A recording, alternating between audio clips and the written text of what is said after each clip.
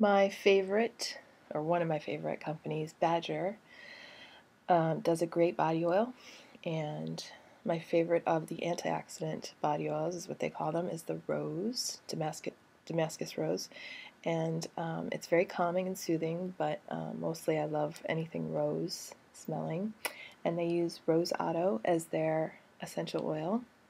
And they don't have a size like this. They sent me a tester to try. They have a four ounce size for $27, and you can check them out online at badgerbalm.com.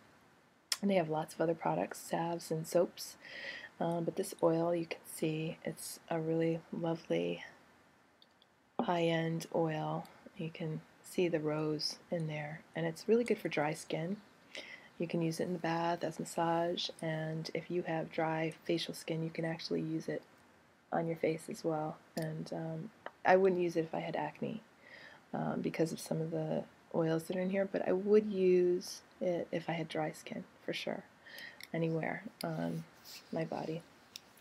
Um, it's a great, um, easily absorbed, rich oil, luxurious, smells great. Um, they actually use lavender and chamomile in it as well, which makes it even more soothing. And it's organic and it's a great company. So check them out, badgerbalm.com. Again, here's the lovely packaging. Glass, of course. I love that too. Check them out.